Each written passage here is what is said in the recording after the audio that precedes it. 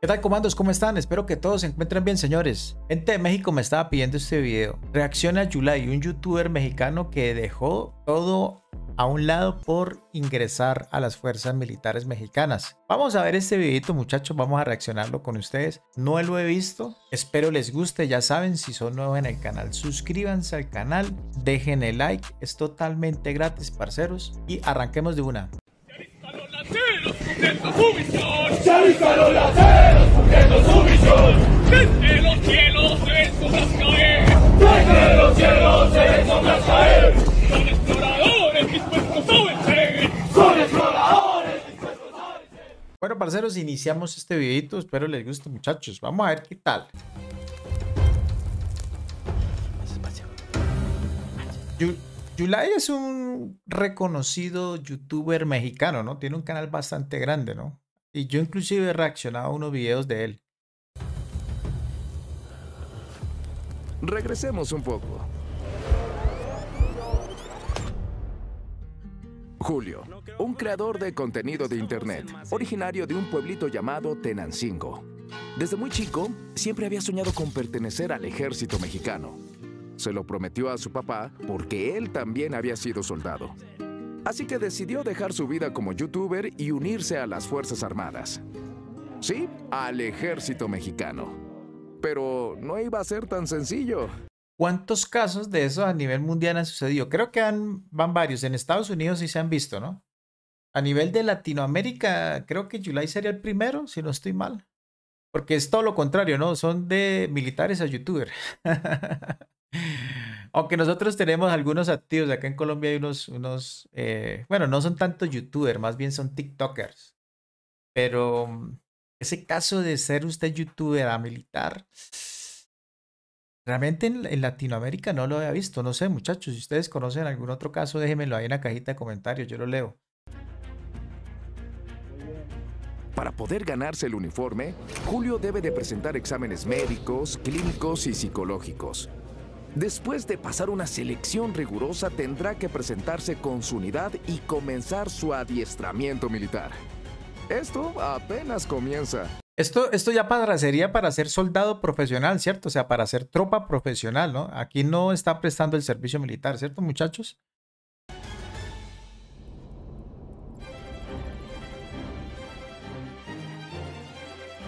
Acabamos de tener una reunión y nos acaban de dar una de las mejores noticias de nuestra vida. Tenemos la oportunidad de ganarnos el uniforme de las Fuerzas Armadas de México. Sí, del ejército mexicano. No, Estoy en shock, no, no, me, no me lo esperaba. Mi papá fue soldado, también perteneció al ejército mexicano. Y, y créanme que... ah, Es, neta, neta, no, ahorita no, ando como en shock. Pues bien, ahorita vamos de compras. Fíjense que nos mandaron una listota grande de cosas que se van a necesitar. Vamos a estar encerrados dos meses, así que hay que ir por las provisiones. Fíjense, llegamos al FX Tactical. Es nuestro compita, ya, ya tiene mucho que no lo visitamos. Aquí es donde nos surtimos de cosas para chico malo que luego se ocupan en la grabación, como pasamontañas, chalecos, pantalones. Ahora le vamos a comprar cosas militares. Vénganse. Pues esto es parte de lo que nos pidieron. Si vamos armados, ¿eh? Cuídense mucho. Adiós. Bien, pues ya vamos de retache. Es un montón, ¿eh? Pareciese poco, pero es un chingo. Bueno, aquí en Colombia es diferente, muchachos. Aquí en Colombia usted le dan todo. No hay que comprar nada. O sea, estoy hablando en el tema de los soldados. Cuando usted va a hacer curso para soldado, para ingresar en el escalafón más bajo, que es ser soldado, todo se lo dan. No hay necesidad de comprar absolutamente nada.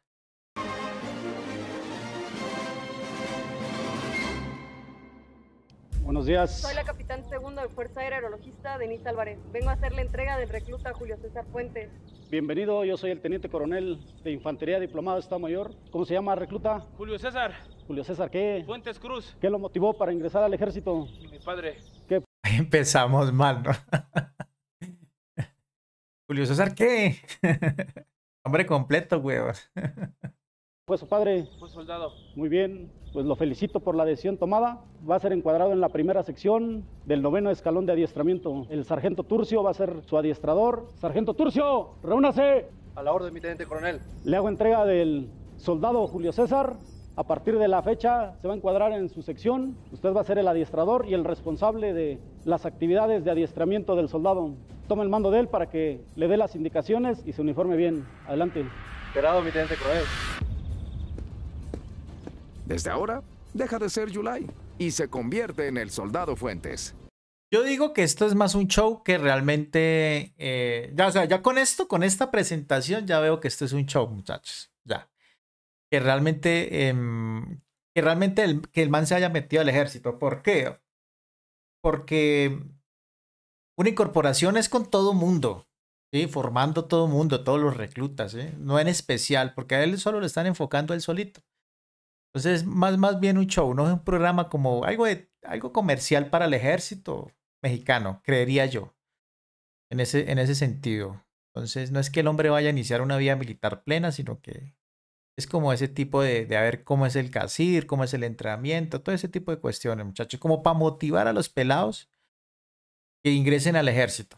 Es eso, es, eso significa es- esa incorporación de Yulai al ejército mexicano. Adelante ahí, soldado. Lo va a presentar a su cabo, él va a ser su monitor encargado de su disciplina. Soy el cabo policía militar Enrique Daniel Rentería Martínez. Voy a estar fungiendo como su monitor. Su primera enseñanza, se acabaron las palabras de mi jefe, no soy policía. Se conduzca ante mí como mi sargento y ante Creo que Yulai fue policía, estuvo en la policía también, no sé, ¿no? su cabo como mi cabo. ¿Dudas? Enterado, mi sargento. ¿Te contesta ninguna? Ninguna. Con fuerza. Ninguna. Mira, este es tu gabinete. Sí, aquí vas a poder guardar todas tus cosas. Vamos a checar todo tu Que se apresure a sacar su equipo porque los demás soldados ya están formados, allá uniformados y él ya está decidido. Sí ve que eso les decía, muchachos, realmente de una incorporación es todos por igual.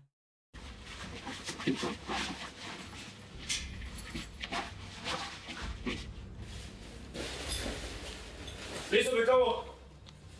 Aquí quiero tus playeras, tu ropa interior, en este, sí. En el de hasta abajo vas a meter tus botas, tus tenis, sí. Y aquí vas a colocar toda tu ropa. Empieza a acomodar todo tu equipo.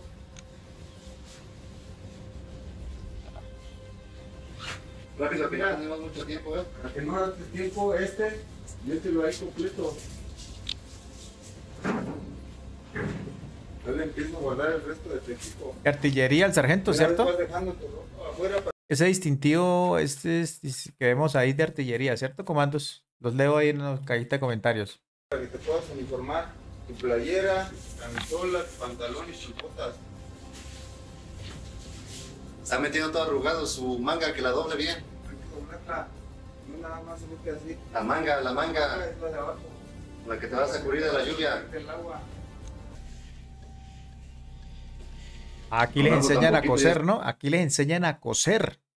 En nuestro ejército ya eso de coser parches quedó totalmente abolido. Yo cuando presté servicio y estuve en la escuela, cosíamos los parches. Pero ahorita no, ya ahorita los soldados, ay, les cosen los parchecitos con máquina y no. Pero esta es una, esa es una tradición muy elegante, enseñarle a coser a la gente, porque hay gente que no sabe un culo, hermano. Estás sudando, no sé qué vas a hacer al rato. Mejor pide tu baja o regresa. Qué cara de hijo de puta tiene este man, muchachos. O sea, cuando digo eso, no es que lo esté ofendiendo, sino que digo que es una es de esos sargentos así, parce, güey, que lo coge a uno y se la monta, ¿sí o no? Se le ve, se le ve. Se le ve que es de manes bien estrictos. a tu casa. Ni se muta, weón, solo lo miras Esa pura fijamente. infantería porque ya están. Tienen ya en planta esperando y él no puede salir. Ya de un minuto, mi sargento, ya casi terminó. No me lo digas a mí, dilo. Díselo a tus compañeros que son los que están afuera esperándote. ¿Eso es todo, mi cabo? Ya guarda tus cosas, mételas bien ahí en tu locker, lo cierras y ya sales a formar allá con tus compañeros. Chico malo. Ah, su madre. Chico malo, Yulai. ah, pero Yulai, porque llevas placa, hermano? Y todavía no tiene derecho ni al aire que respira. ¿Cómo sería el chico malo? ¿Dónde está con la que debes de traer? Eso no debes de traer. Aquí no estás afuera, no estás en la vida civil, estás en un instituto armado. ¿Dónde está la que debes de traer? ¿Y la de tu cuello? La extravié. Luego, ¿qué esperas que haga yo? ¿Que la busque o qué? Si así vas empezando con tantas anomalías, yo no sé qué vas a hacer más adelante. Espero Empezamos mal, parceros. Empezamos mal. que vayas agarrando rápidamente cómo está el asunto aquí. No parece. Mi sargento no la traigo. Te vas a encargar de conseguirla. ¿sale? ¿Cómo? Ya guarda todo lo demás. Dale, 10, 9, 8, 7, 6, 5, 4, 3. ¿Tu casco? Los compañeros están con casco ya, eh. 3, ¿Me llevo mi tocado? 1, 1, 2, 3, 4, 5 lagartijas aquí nada más. Una, dos, tres, cuatro, cinco. Orden cumplida, mi sargento. Un mes ya. Que te integre ahorita ya con la actividad. Y te lo- Ya que lo arregles más tarde porque están esperando sus compañeros, sus escudos. Ese no es el que le corresponde. Los dos de infantería y el del soldado. Su tipo de sangre, te lo- ahorita me encargo de que consiga todo. su rodela. No lo trae. Tiene toda la noche para que la consiga. ¿Sí o no, muchachos? Así es. Un rato quiero que esté sin. Y te lo- Este no es tampoco el que debe traer. El parche. No, sé, Yulai está más descuadrado. que- Quítate tu tocado y ponte tu casco.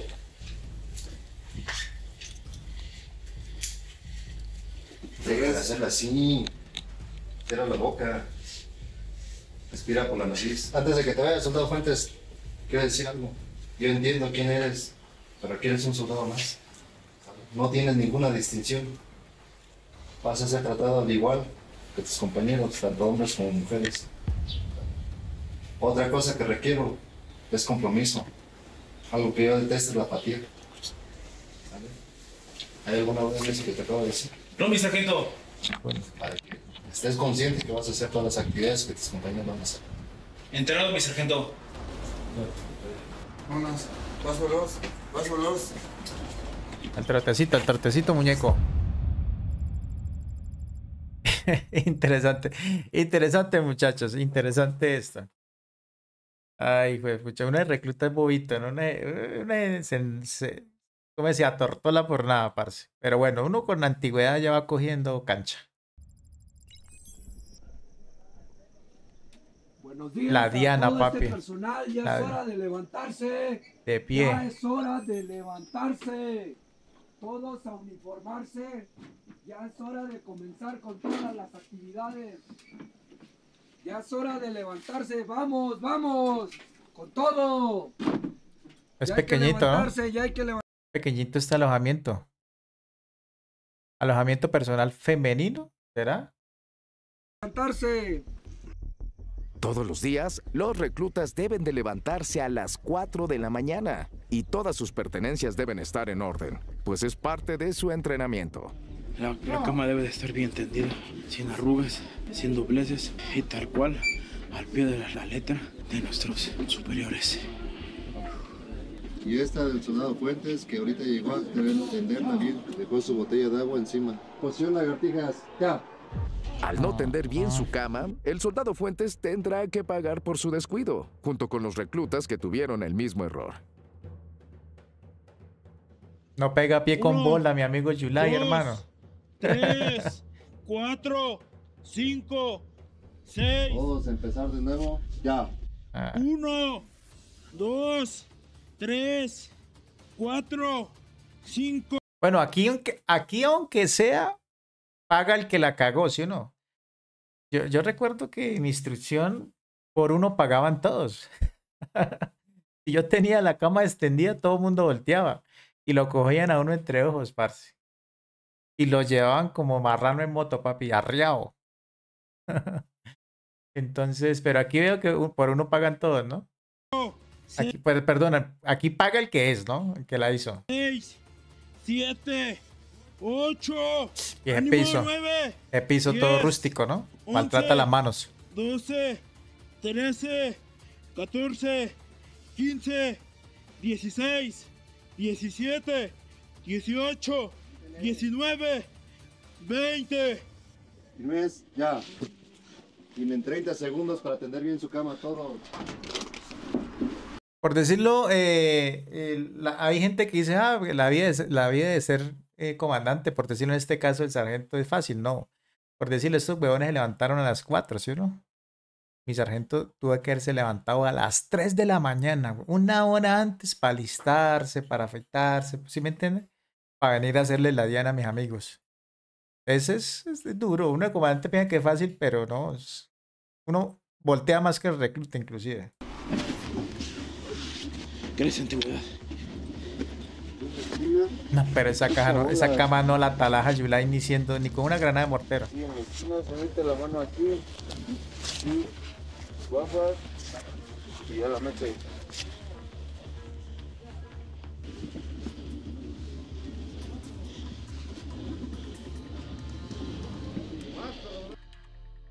Los reclutas deben de ser en extremo cuidadosos. Y un error podría ocasionar un castigo colectivo. Y tal vez el Ah, pero ahí están revueltos, ¿no? Ejército y Guardia Nacional, ¿no? Están revueltos ahí en el, en el mismo entrenamiento. Vea, pues, interesante ese tipo de formación. Aquí en Colombia nosotros, cada, cada fuerza tiene su escuela exclusiva de formación. odio de sus compañeros.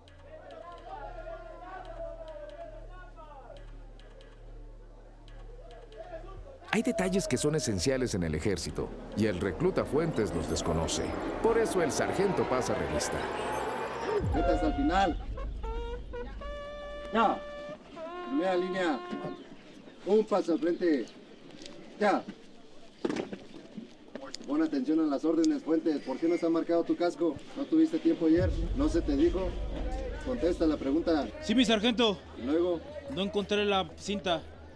¿Quieres que yo te la buscara o qué? ¿Que yo la comprara? ¿Qué querías? ¿Que No, es que él quería que a mi sargento fuera y le marcara el casco. Eso es lo que él quería. Ay, Dios mío. Yulai, Yulai está muy escuadrado, hermano. yo lo marcara? No, mi ¿Quién te dio la sargento. ¿No tienes compañeros que te pudieran haber prestado? Incluso yo escuché ayer compañeros que te ofrecieron prestarte cinta. ¿Por qué no lo hiciste? Procrastiné, mi sargento. Procrastinó. Y como su compañero Fuentes todavía no se siente un canec, no quiere portar ahí sus insignias en su casco, todos a excepción de él, posición lagartijas, ya. Papi. Y eso, eso sí es insolador, güey. Eso sí da rabia, hermano. Vamos a decir canec cada vez que bajemos, a ver ¿Y mi así a su sargento está haciendo? Le dan ganas de... Como putas. Hasta el sargento se, se tendió, hermano. Ay, Yulai. Eso no se hace, papi. ponerse sus parches en su casco. Una, ¡Una! dos, ¡Canec! tres, ¡Canec! cuatro, ¡Canec! cinco, ¡Canec! seis, ¡Canec! siete, ¡Canec! ocho, ¡Canec! nueve, ¡Canec! Y hay uno que está pariendo ahí. ¡Canec! once, ¡Canec! ¡Canec! trece, ¡Canec! catorce, ¡Canec! firmes, ya. Mi sargento, permiso para ponerme los parches. Para eso tuviste tiempo toda la noche. Aquellos que se les detectó una novedad, son 6.16 a las 6 y media, todos aquí afuera, formados sin novedad. Romper la formación, ya. ¡Canec! ¿Eso ¿Para qué se pone? ¿Eso para qué, güey, puta, se pone? ¿Sí o no?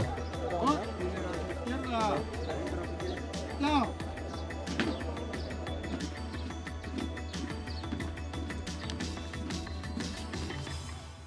Bueno, parceros, hasta aquí el videito, video bastante eh, divertido, muchachos. Muchos recuerdos en mi cabeza de mi etapa de formación militar, ¿no? Todos empezamos siendo reclutas, muchachos. Todos cometimos errores, eso sí es de ahí. Nadie es perfecto. Muy interesante este video de July. Comando, vuelvo les digo. Gracias por la recomendación. Si quieren una segunda parte, dejen el like. Vamos a ver, vamos, vamos por los 500 likes para la segunda parte, comandos. ¿Listo? Para la segunda parte de 500 likes. Y nos estamos viendo yendo en un próximo video, comandos. Chao.